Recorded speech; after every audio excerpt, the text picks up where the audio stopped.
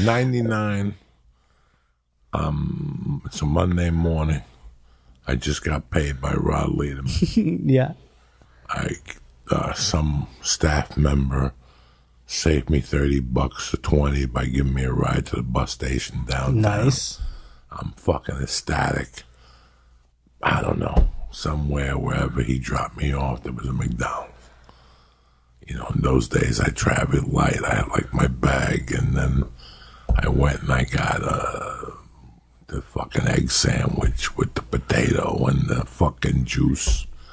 That's when McDonald's used to give you a little orange juice. Yeah. And I'll never forget, like, whatever that combo cost, I gave her the 20.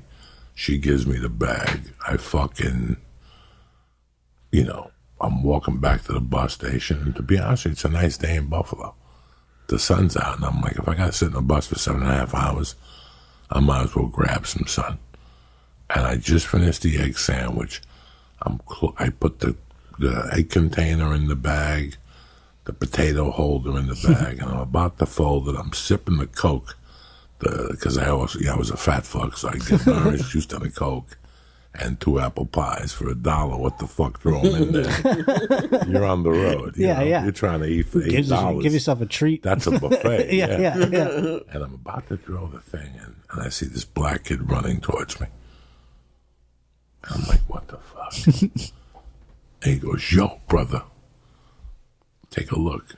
And he had a gold chain in his hand, and you could see the the bracelets were broken, like where they were connected. Oh. and he's looking back, like he's like, man, either buy it or whatever. And I'm like, is it gold? And he goes, man, does a nigga pick cotton? Like he said something like that to me, like something fucking off color. And I go, all right. Like, and he goes, wow, give me 50 bucks. Because it was a thick gold chain. And I was like, dog, I took out the 16 and change I had from the Mickey D's, the Fort, whatever I had. Yeah, yeah. I go, this is what I got. I mean, I gave him the exact, whatever that lady gave me with the receipt. You know, From they the give you 20, that yeah. receipt. Yeah, yeah. And he goes, done. And he ran off. and I get in the fucking thing. I get in the car. I get in the bus. I take it to Manhattan, to Port Yeah. Authority. And then the whole thing, I'm looking at this and I'm like, I got beat.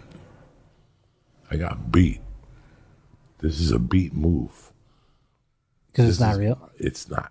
I thought in my head, first place I get off the bus, I go to a fucking pawn shop. Guy weighs it. He's like, I could do 680 or something. Oh like that. Oh I'm like, it's gold. And he Holy goes- shit. He goes, but it's a nice chain, man. Why are you getting rid of it? I go, I don't know.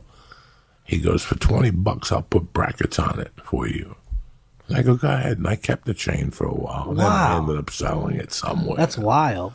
yeah, I had That guy just wanted crack real bad. He just ripped the fucking chain off somebody's neck. Oh my god. Damn. Only in Buffalo. Yeah, right? That's wild. Only by, in by that bus station downtown. They don't play. No. Let me tell you I you used to live over there. I used to take the buses. I knew all that, you know.